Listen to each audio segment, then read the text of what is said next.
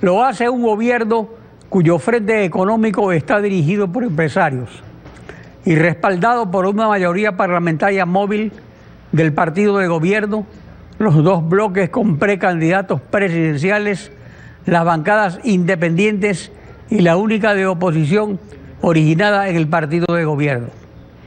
Eso políticamente revela que todos están embarcados, porque el Ecuador es de todos para pagar la deuda correísta y el continuismo de Lenín Moreno.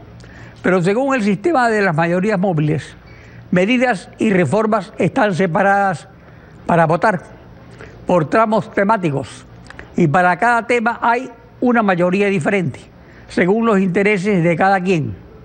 Para unos irse en paz el 2021, para otros recibir la mesa servida en 2021, para otros que quede constancia que se continuó con la misma jeringa y para todos un nicho reservado para lavarse las manos. Pues si hay un cabo suelto, el presidencialismo prevé el veto presidencial. Eso será lo que viene, con un modelo sui generis de ajuste con crecimiento económico, de más deuda para pagar deuda, un cóctel en el que cada parte pone lo suyo.